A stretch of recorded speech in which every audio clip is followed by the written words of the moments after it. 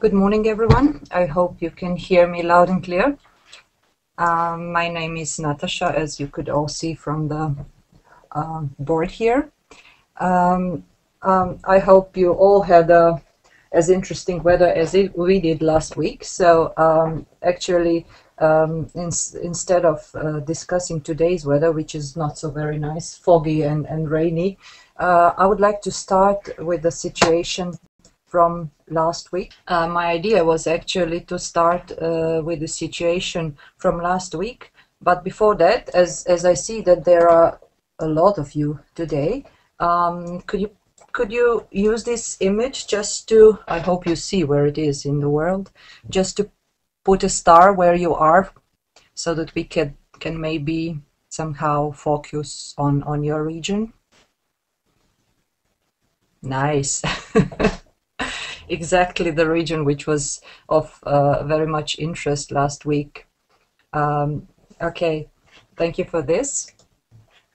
Uh, as as uh, you, those of you who are forecasters, you you probably know that we had a very interesting situation last week uh, with with uh, on one side a lot of precipitation on the other hand uh, we had some very serious freezing uh, freezing rain and, and different stuff. But let us start from the beginning.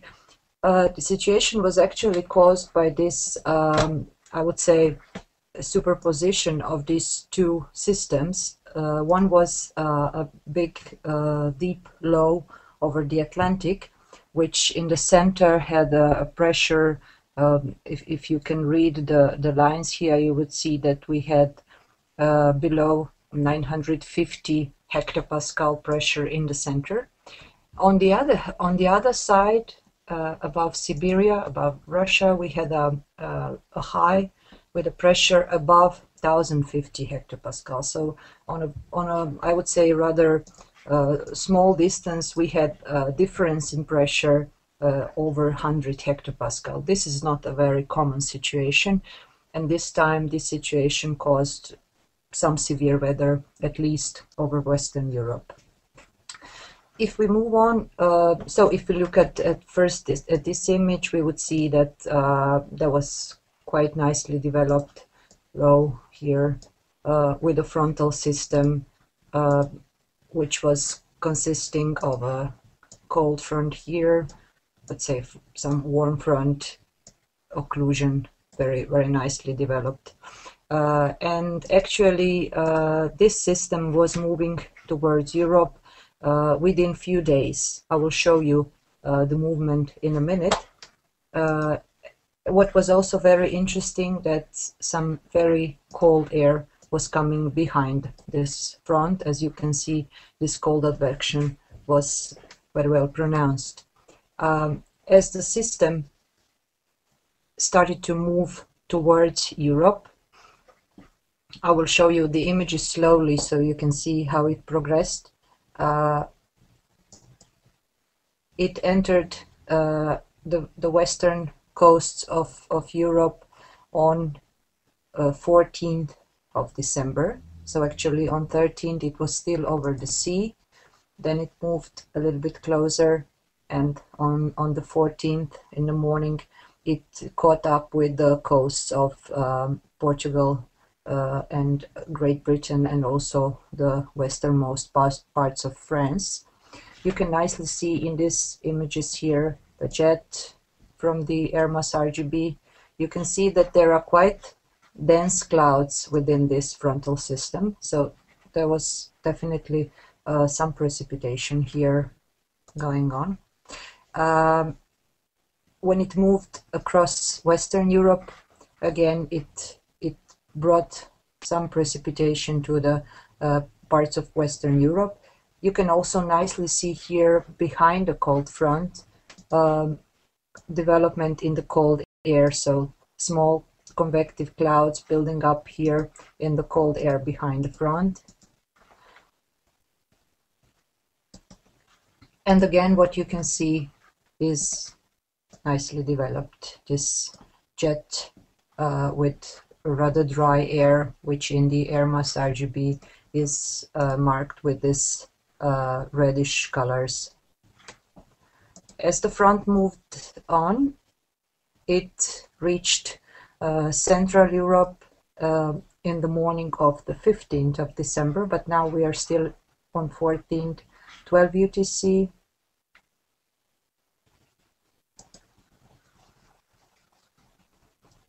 And 18 UTC.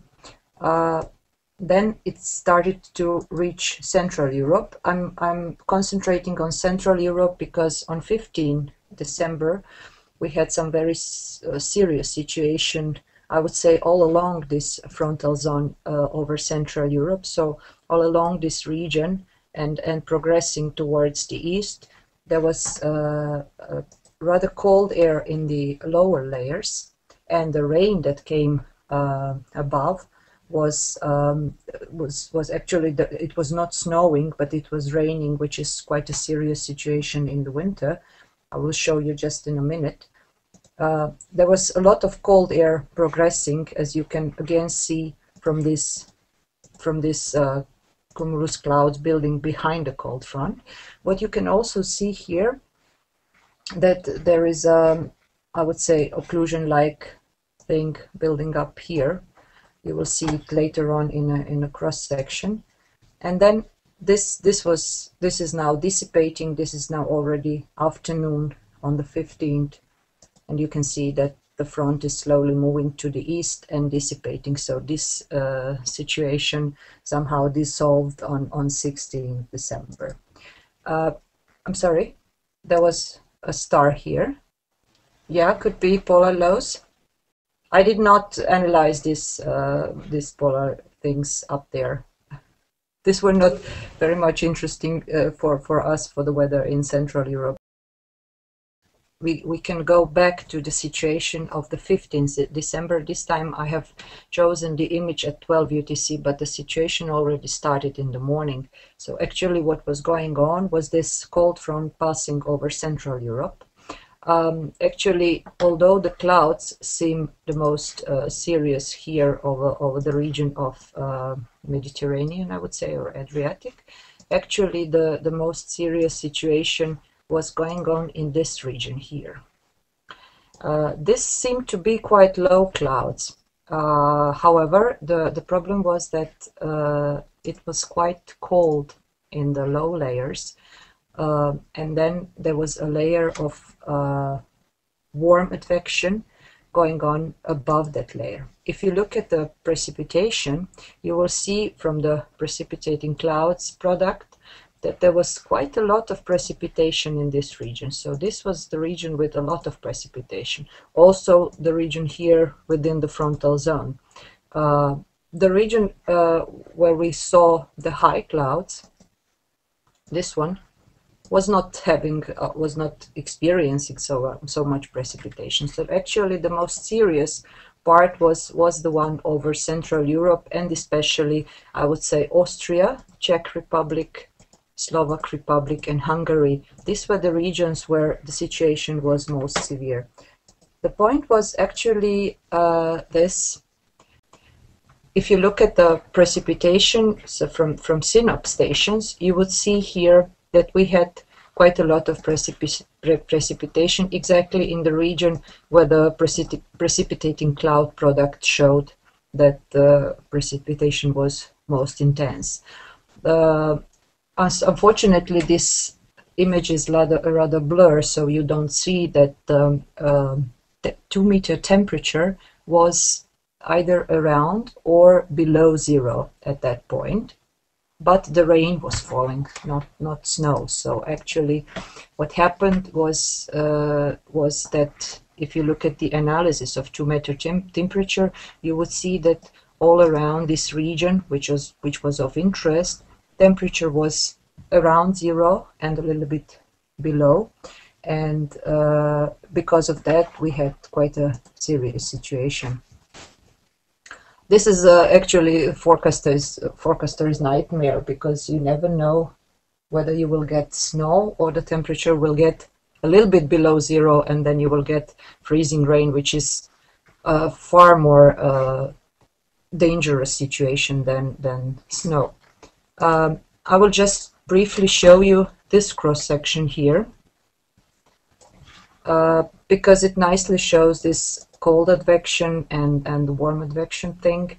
Uh, if you look closely at the frontal structure in this image, you will see that it, it starts to uh, resemble the occlusion or some some kind of uh, low center building up here above the alpine region.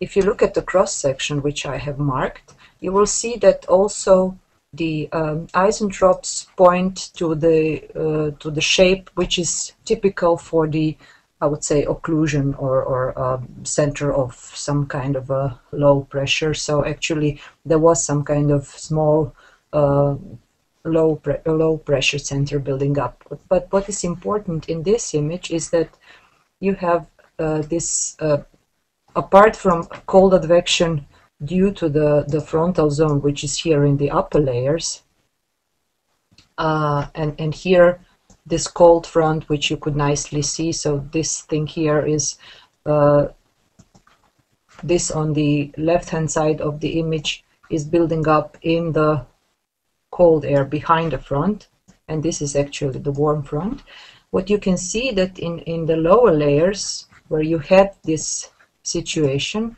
you had some warm advection. And because of that warm advection and the cold uh, air which which was still persisting on the ground what you got was was this.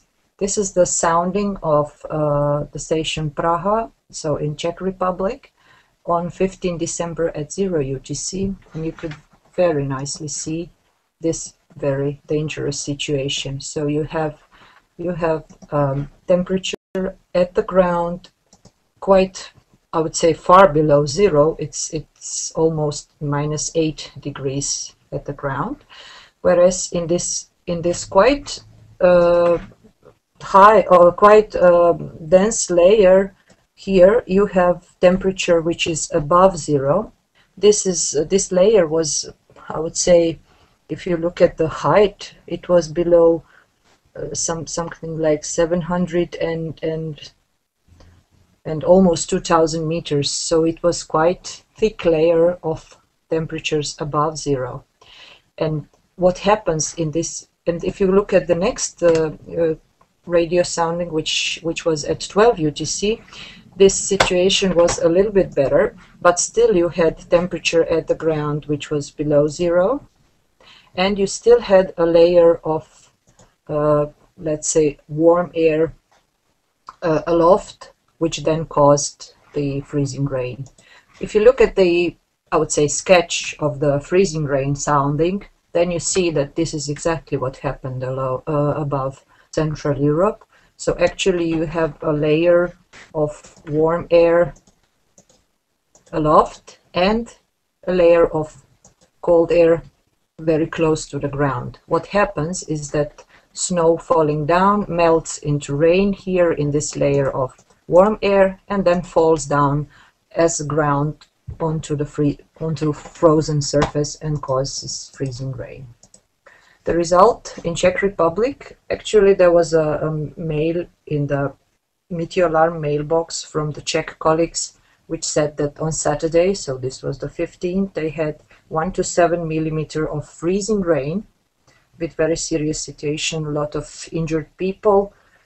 And uh, as they, um, as the surface temperatures remained very low and there was some additional rain coming, they issued the orange uh, orange warning for uh, freezing rain. So actually, it was quite a serious situation. Um, so this this was the situation that uh, happened. So in in days before, uh, this is the situation from this morning, and uh, why I'm showing this one. Although it is not so very interesting, there is not much uh, to see at the image except for another low building up here over the Atlantic quite nicely. So this is a situation which will become, well, which, which looks very similar to the one that we had last week. We still have this very, very intense high over Siberia with temperatures which are very, very low. And I believe that the colleagues in Russia we'll have one of the the coldest uh, coldest December's that they experienced. It, it looks quite serious there with the temperature. Um, in in the Central Europe and Mediterranean, the situation uh, looks summer-like. Actually, yesterday uh, we had some very serious convection here along the coast, with some hail uh, precipitation of like 60 liters in in two hours, and and some very serious convection, which actually resembled uh, summer convection. Um, unfortunately, I didn't manage to uh, get the images on time, uh, but there was some quite serious overshootings developing in the convection over the sea and the coastline, which is not very typical for winter time. Uh, this situation is now looking quite similar to the one that we had on 13th December. So actually it is developing in the same manner we have now the low here and the frontal system over the Atlantic, and here uh, very deep, uh, very uh, high, uh, very pronounced high over Siberia. The pressures, however, are not that low. So actually, in the in this in the low center, it is now um, around nine. 980 hectopascal, whereas the high has still a pressure 1045 uh, if you compare uh, the, the situation at 500 hectopascal, uh, you will see that the low is very well pronounced also in high levels. And now, if you, sorry, the text is missing, but never mind. So the, the right-hand picture shows today 6 UTC, so the latest image. You can see uh, here the low developed over the Atlantic, the high over over Siberia. Uh, it is now uh, again reaching pressure of 1050 hectopascal. Uh, if you compare this to the situation on 13th December, you will see that it is quite similar. Uh, the difference now is actually that the forecast forecast um, ECMWF forecast uh, shows that this front will move uh, in the direction of, let's say, uh, Mediterranean, Southern Europe, but actually it will um, disappear or dissolve before it gets there. Whereas this front here was moving as a quite um, serious cold front all across Western Europe. This is a bit different situation and um, we hope that it will not be as serious as it was last week. So if you look, this is the same image, sorry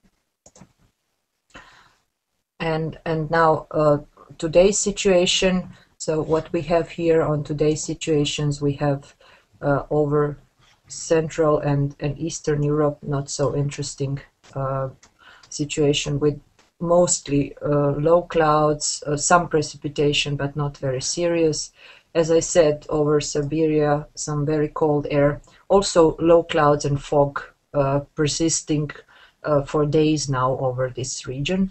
And frontal system uh, here some warm front occlusion cold front here. So actually uh, quite nicely developed frontal system moving in from from uh, the Atlantic. Uh, what uh, what I also wanted to show you in the end is this nice ASCAT image. This is not always so nicely uh, that you find um, so many passes over uh, the Atlantic, where you can see the winds. And here you can see how high the winds are here in this region of occlusion cloud band, so quite uh, high uh, wind speeds in this region. This is this is this. So actually, uh, we will we will be watching on the situation that comes up but as i said the forecasts uh, are not very serious about the situation over western europe since this front will uh, somehow dissolve before it hits europe this time. This is all from me. I know uh, that andreas has has few words uh, to say about this, some other situation. Yes thank you natasha. Um, I have prepared a few slides on a situation um, which occurred in the last in the in the last night and the previous last night from Sunday to Monday from 16th to 17th. Uh, okay, but I can comment on the loop um, before I start with the first slides. Um, the situation on which was so remarkably for me where the um, vertical stripes. I will mark them. I hope it works also on the loop. You see them here in this in this region uh, south of of the Pyrenees, um, crossing the Iberian Peninsula and moving then towards the east. So I try to erase this. Okay, it works. Um, um, propagating towards, coming from the Atlantic, propagating over the northern part of the Iberian Peninsula, and then moving on towards uh, Tunisia. So uh, this is the water vapor image. They are obviously very high clouds, so in the jet level, and this is known as a clear sign of, of um, turbulence in upper levels, turbulence induced by, by the jet. Again, that's me from ZAMG. I'm working in the satellite department. And what I wanted to show you in five minutes, but probably it will be a bit longer, uh, are pattern, turbulence pattern from visible in the MSG water vapor image. Um, this is the situation at midnight. And again, I already showed the loop, but again, I can show you here the, the area where I wanted to, to point your attention. These vertical stripes in very high levels. If you go to the situation on your on your in your office and look at the water uh, and the infrared image, for example, you will see similar patterns in much lower levels. These are often trapped Lee waves or Lee waves due to elevations of the orography. But this he phenomenon here is clearly a phenomenon from high levels in the jet level, as I, as I have already explained for the loop. This is this is uh, from Christopher T. Kuhl and, and thesis work it's called Studies in Forecasting Upper Level Turbulence. And this vertical cross section, cross section shows you quite well where you ex can expect um, turbulence, clear air turbulence, uh, in the atmosphere. Here you have the jet. It points out of the image. And you have above from it uh, two zones. Above, one zone of clear air turbulence, and below clear, another zone of clear air turbulence. This is, are the areas where the clear air turbulence happens, mainly due to the shear uh, of the wind speed. Uh, so I have prepared um, before yes first thing which we are going to look at is the, the jet. We have the jet axis here, I will mark it. And we are here on the warm side where we expect the clear air turbulence and we are here on the cold side. So I go back to, to the schematics. We are here on the warm side, here where I put the star, and the cold side is on the opposite side, and the clear air turbulence is on the warm side. If we have here the front, the front frontal zone, and the clear air turbulence is on the warm side. Exactly like in the situation we have it here on the sorry, now I have the right, right image. Um, in the satellite image. We have the jet and we have the uh, clear air turbulence here on the warm air side. But um, in fact, it's not clear air turbulence because we see clouds. We see um, vertical stripes, stripes oriented perpendicular to the um, current of the air, air, of the jet streak. So it's the zone of clear air turbulence, but we see some clouds, so it's not really clear air turbulence. Why do we see turbulence here in the satellite image? So um, let's have a look in the vertical cross sections. I choose two vertical cross sections from ECMWF, but they are very coarse, but it's enough for our purpose. One from Barcelona and one from Toulouse. What do we see? We see what we expect in higher levels uh, I put a star here, the potential temperature indicates a very stable layer. Um, the wind speed below shows a strong increase in the vertical. That means we have a strong wind shear. The wind direction in the uh, lower right side shows no change in the direction from the ground to the higher atmosphere. And what is most important, we have a very dry zone around 500 hectopascal, and in the jet level in 300 hectopascal, we have very humid air. So it's nearly saturated around 90, 80, 90 percent relative humidity. And the same situation is valid for Toulouse. It's stable in the upper le levels, upper levels of the atmosphere. The wind shear is quite strong. The wind is increasing with height. The wind direction does not change, and we have even more uh, relative humidity in higher levels. So that is the reason why we see the clouds. We have high humidity. Um, turbulence is characterized by vertical motion of the air, and we have this wave-like pattern which forms from, from the turbulence. So um, I also wanted to show a vertical cross-section to confirm our image. Uh, I found the, the yellow, uh, no, it's not, not yellow, it's, it's magenta pink vertical cross-section, which crosses the uh, Pyrenees and the northern part of Spain. Let's have a look in this vertical cross-section. What you can see here is the frontal zone I will mark it here. We have the warmer side here on the right side and the colder side here.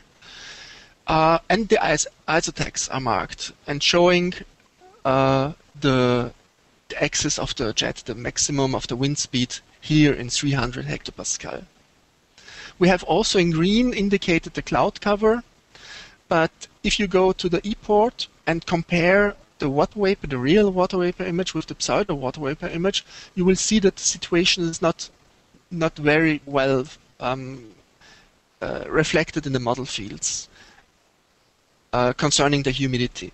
You do not see the vertical stripes, you just see some cloud fibers. The real water vapor image shows much better the situation and also the vertical stripes, which are not visible neither in the infrared uh, pseudo image nor in the water vapor pseudo image. Uh, another cross section I prepared shows the humidity, the relative humidity, and here you can clearly see the high values of humidity in upper levels. And this is the reason why we can see turbulence. The vertical motion leads to condensation of the air and the wave-like pattern is reflected in the clouds, clouds which form in the very high levels of the atmosphere. So, and the last slide I wanted to show you is a turbulence forecast. It's from the from an American site, turbulenceforecast.com. Uh, it shows the situation over Spain uh, in this region at six o'clock in the in the mornings, six UTC. I asked this the people from this page to provide me with earlier image. Unfortunately, they are not saved, so we have the situation only um, six hours after midnight uh, at the end of the loop. And this corresponds to the pattern which have flown from from the Atlantic over the pen peninsula to Tunisia, and we have at 6 UTC the the remains of the pattern over Tunisia in this area, which is also here marked as a potential turbulent area. I would have liked to see the this forecast for zero UTC, but unfortunately I could not get the image anymore. But still, this region shows some turbulence um, in the axis of the jet streak. So I thank you very much. Thank you, Natasha. Thank you, Andreas, for the interesting uh, briefing. Just to let you know that the briefings will continue next year. The next briefing will be on 24th January. It will be made by Christina, our trainee here at EUMETSAT, and uh, I will assist her. Thanks for this year. Thanks for taking part on all these briefings this year. Uh, I've been happy to see that the number of the participants has steadily been growing. Today we had 25 sites connecting. I think that means more than maybe more than 40 people because in many places there are more than just one. So it looks good to continue it next year also. Thanks, that's all from me, and bye.